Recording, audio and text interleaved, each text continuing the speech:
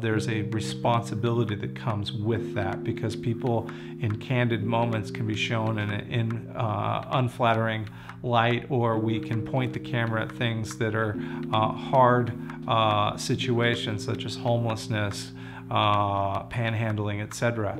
And I always refer back to Paul Strand that said this about street photography.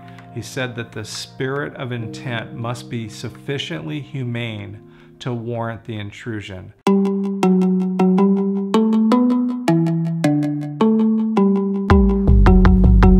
Hi everyone, welcome to EIDOS, where we take a look at the shape and form ideas take in the visual arts.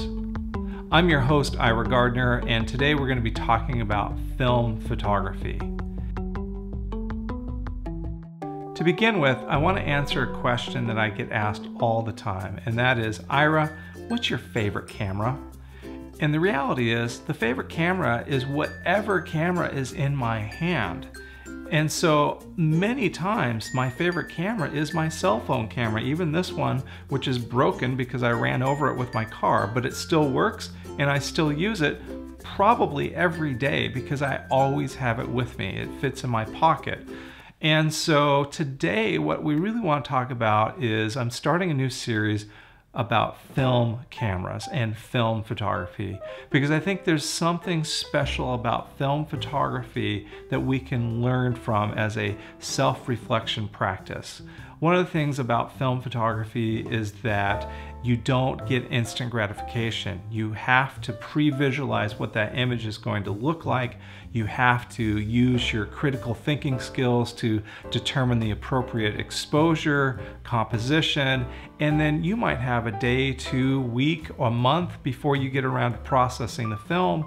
And then you're gonna look at that film and analyze the exposures to see which image is worth investing the time and effort into making a print scanning it to share online, etc. It really demands the critical thinking and creative thinking skills uh, in a way that digital photography is just different because of that immediacy of click, click, click, I see something immediately, I share it immediately without that pause for self-reflection. And so I want to start out with a new series of episodes that really looks at film photography. So today I thought it would be fun to start our series by looking at 35 millimeter point and shoot camera technology.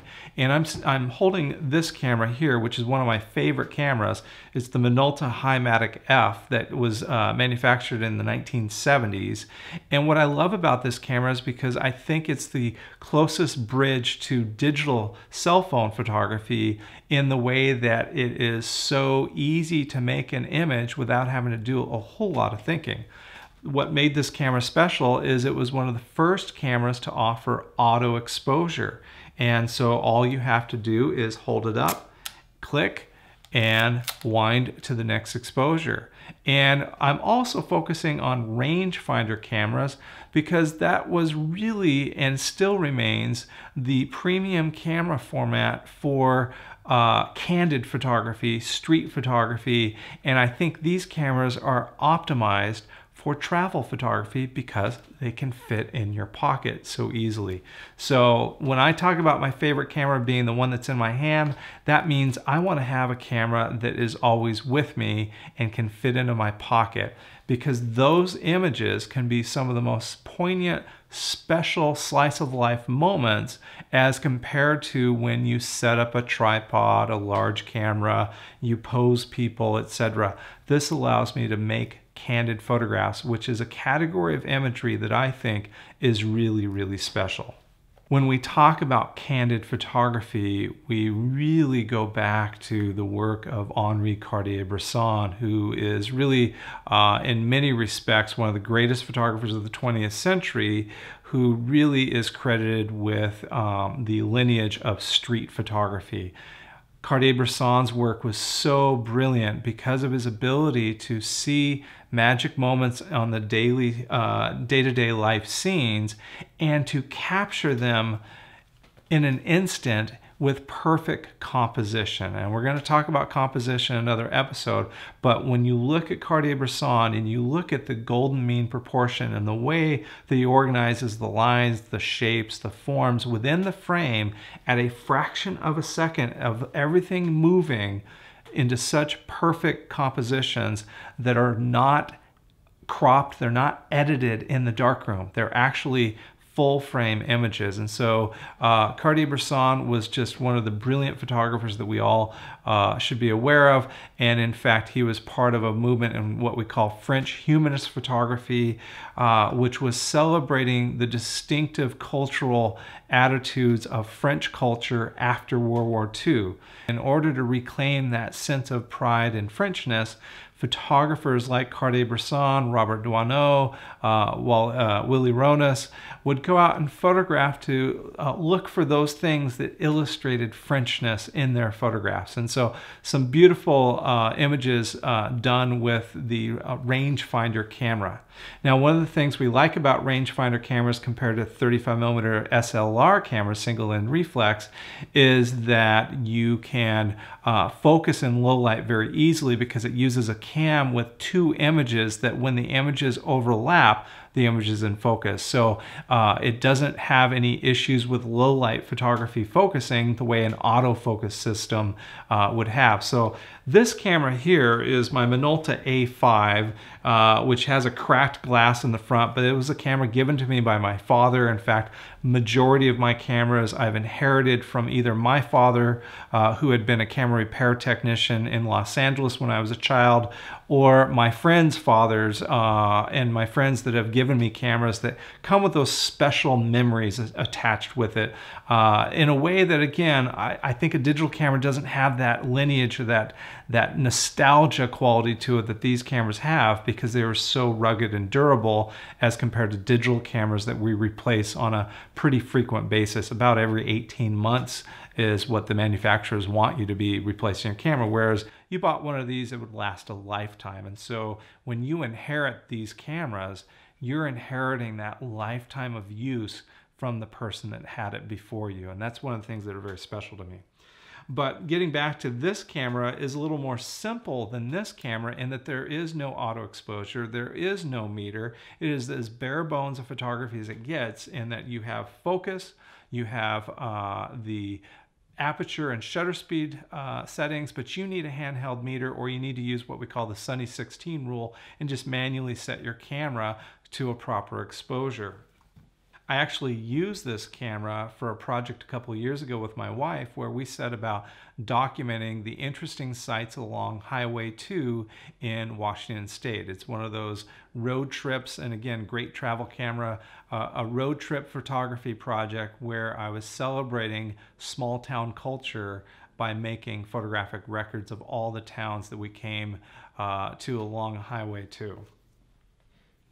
At a little higher quality is this camera, which is a legendary camera. It's the Canonet QL17, which came with a f1.7 40 millimeter fixed lens. And this camera had the auto exposure capability of the of Minolta Hi-Matic, but it also had all the manual exposures of the Minolta A5. And what's interesting about this camera, it's again, it's got a really nice small uh, form factor and most of these older rangefinders came with 50 millimeter, 40 uh, millimeter, or 35 millimeter, which all fit within a category of what we consider a normal focal length lens to a slight wide angle lens. The normal lens is what the human eye sees, angle of view. And so why I think these cameras are the perfect walk around travel photography camera where you see something, a candid, and you want to grab it real quick, is that when you hold it to your eye, the rangefinder is showing you roughly what you saw with your naked eye. And so it's very quick to organize your composition and make the exposure. So the Canon QL17 is just a legendary camera, but I will point out that on Canon's website, all these cameras were emulating the German rangefinder cameras, most notably the Leica rangefinder camera, as well as some of the Contax and Voigtlander cameras as well. the Canon QL17 represented the last rangefinder camera they made before they switched all the way to single lens reflex and their legendary Canon A and AE1 series cameras. The reason that's significant is because they decided that the Leica M3 rangefinder was the epitome of design for a rangefinder that could not be improved upon. And when we think about Japanese manufacturing after World War II, it has been a continuous improvement of more and more quality in their manufacturing, and they reached their their height or their peak of quality with this camera and then abandoned the rangefinder in favor of the single lens reflex. Another camera that I have in my collection that I've been photographing with a lot lately is this little camera, which is another Japanese camera. It's the Yashica T4 Super D weatherproof camera. I love this camera because again, it fits in uh, my jacket pocket really easy and it has the added benefit of being a little more uh, protective in, in weather elements. And I want to encourage you to get out and photograph in inclement weather. Don't wait for the sunny, perfect weather because the images might be uh, less interesting than photographing in the inclement weather. Uh, we'll talk more about that in another episode. This camera, the Yashica T4, has the added benefit of a built-in flash uh, that if I fire it and it says there's not enough light, um, it will fire it uh, automatically. And this camera is auto everything. It's auto focus, uh, which I want to point out the Minolta went from the Hi-Matic to the Hi-Matic AF series. And this is the AF2. Uh, my wife's grandmother passed on one of these to her and she loves using that camera. It's a great camera. Uh, it's auto focus, auto exposure. This is autofocus, auto exposure, but it has that Zeiss uh, quality lens on it that is just so incredibly sharp that recently I did a side-by-side -side comparison of these two cameras and you could see a noticeable sharpness improvement. Uh, it's a slower lens uh, and again every camera is going to have different uh, functions and features that affect how you use that camera, how you photograph. In this case, this camera only has an f3.5 35 millimeter Tessar Zeiss lens, incredibly sharp lens, but in low light situations, that flash is going to be going off. This became really popular in the late 90s with fashion photographers and street photographers that gave that snapshot aesthetic. Another photographer to take a look at would be Martin Parr's work, British photographer that really captures beautiful snapshot aesthetic photographs. Uh, and then looking at the photographers from the 70s like Garry Winogrand, 70s and 80s, those street photographers as well.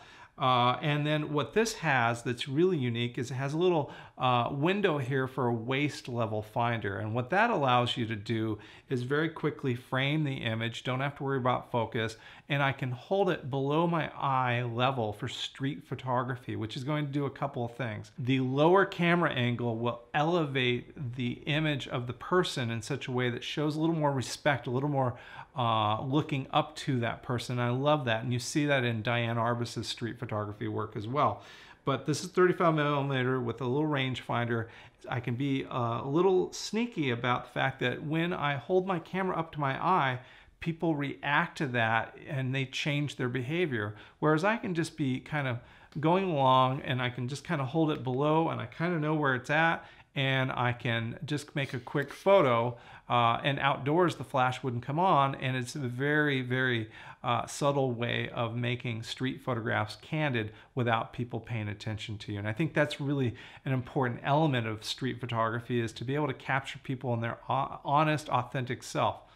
Now I'm going to pause a moment and talk about street photography uh, from the sense of there's a responsibility that comes with that because people in candid moments can be shown in an in, uh, unflattering light or we can point the camera at things that are uh, hard uh, situations such as homelessness, uh, panhandling, etc. And I always refer back to Paul Strand that said this about street photography. He said that the spirit of intent must be sufficiently humane to warrant the intrusion. And so when I go out to photograph, and I recently did a gallery exhibit uh, looking at the homeless issue with another photographer friend of mine, the purpose was sufficiently humane because we wanted to show that homelessness was not a statistic, it was a human condition, and that we can't use labels to define uh, what another human being's experience is. And so we actually went out and photographed uh, people on the street. I did a video project, he did still photography with film. But I'm always thinking about what is the intent of my work and do I have uh, the proper spirit and attitude to the work that I'm doing in my street photography. A great example, I think, of a photographer that really captures the tone and essence of the human spirit in their street photography is the Philadelphia photographer David Heath, who passed away recently. Uh, but he created a book called Multitudes and Solitudes uh, multitude and solitude that is just so poignant, so powerful uh, that I really recommend you take a look at. It's just some beautiful work, starting with his images in New York City, uh, as well as his images during the Korean War. Um, while we're at it, let's also just talk about uh, the fact that the cell phone can do some incredible work as well.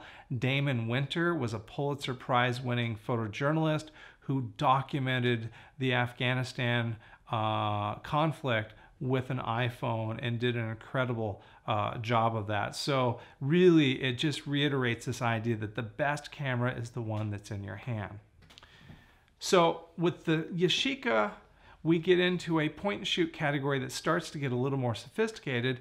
And so we have the Canon uh, 135Z, uh, Z135 Sure Shot, which actually introduces a zoom lens where you can get more complicated uh, compositions. You can zoom in, you can take the uh, images from different uh, distances, uh, and this has been a great camera. It's a really sharp uh, lens as well. Not quite the Zeiss quality, but darn, is it really good. A lot of days I will be carrying both of these cameras because they fit in both my jacket pockets so easily. I will use this camera for photographing uh, people on the street. I'll use this camera to zoom in on things that are beyond my visual normal field of view that catch my eye. Uh, maybe I'm up high uh, on a parking garage looking down and want to get something closer up. But it's a really great combination of these two cameras. Other days I will walk around with my Minolta High 8 because it's just so unassuming. People are not afraid of this little camera. It's great, uh, cute camera. And then uh, when I want to be a little bit more technical with my exposure, I'll walk around with a Canon. If I had to only pick one camera, this probably would be it because it allows me to do all my uh, manual exposures as well as my auto exposures. Uh, and it's just a great, great camera. Another incredible photographer that I really recommend people take a look at when thinking about street photography and thinking about film photography is the work of William Klein. Uh, particularly his imagery of New York uh, as well as Paris because he's just an in-your-face uh, raw uh, photographer uh, that just did amazing work. This camera really reminds me of the photography of the great Japanese photographer Daido Moriyama, uh, who just photographs with the only intention is to transmit the facts of what he's seeing into these photographs. And when you see them blown up, when you see them in book form, uh, you just get this powerful, visceral, emotional response to his work. And, so I want to encourage you to rethink how some of these simple tools of the camera can do powerful things. And candid photography has the ability to tell stories, uh, has the ability to capture juxtapositions in everyday life, that gives meaning to our lives. And I think that the film photography is what allows us to engage our mind, our self reflection, our pre visualization, our creative thinking, our critical thinking, and bring that to bear to invest in making something truly special, archival, uh, something worth putting on the wall, uh, and not just your Facebook wall, but actually uh, put it out there in a way that celebrates life.